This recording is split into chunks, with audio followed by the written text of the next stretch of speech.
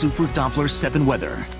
Sadly, though, with the air conditioning running, will we even notice that rebate? That's Been just it. yeah, hot lately. It's about 95 yesterday. We'll be back up there again today.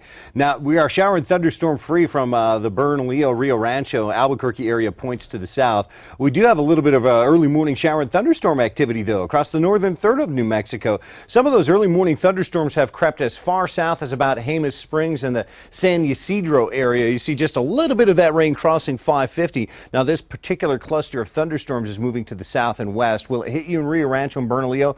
Probably not, but you may be uh, seeing those flashes of lightning off in the distant sky there if you look north and west. Uh, look at the lightning bolts right now in south central and southwestern San Juan County. And we do have early morning rain showers weakening in Rio Arriba County. Uh, some of the downpours around Taos over the Sangre de Cristos are fairly heavy here, and we expect more showers and thunderstorms later on this afternoon in the very same area. So we're kind of priming the pump, getting the ground wet, and uh, it does look like we'll have to watch that area closely for some flooding issues this afternoon. It's 50s and 60s where you're getting rain down. We're in the low 70s around Albuquerque and also in Belen. and in that 65 to about 72 or 73 degree range across most of southern New Mexico.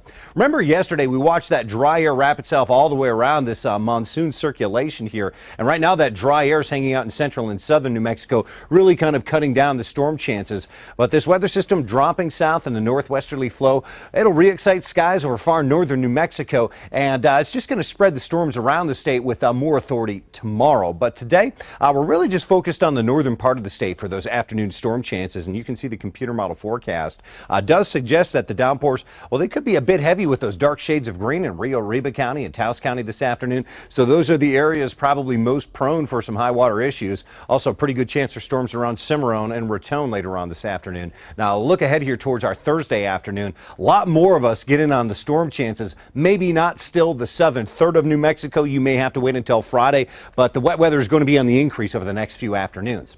Let's talk temperatures out there. Now, northern New Mexico, after your morning showers and storms, we do expect a midday lull before the afternoon storms kick in, and there will be time to warm to like 89 degrees in Los Alamos and 88 in Santa Fe. And we're talking upper 90s for Espanola, Farmington, back up to 97 this afternoon. You have just been cooking in the summertime heat, and today it doesn't ease. Upper 90s from Roswell down to Carlsbad, and we're real close to 100 degrees around the Elephant Butte and also that I-10 corridor for Lordsburg and Deming. So, folks, this is going to be another very hot day of weather. Albuquerque back up at 95, Rio Rancho one hotter, and yes, Santa Fe, these mountain communities just shy of 90 degrees. Now, in Albuquerque, the storms probably stay away. Slight chance overnight. Better chance for the scattered storms tomorrow, and Friday is probably looking like the rainiest day of the next several. Uh, we're seeing signs right now that Saturday the 4th could be just a little bit wetter than we originally expected.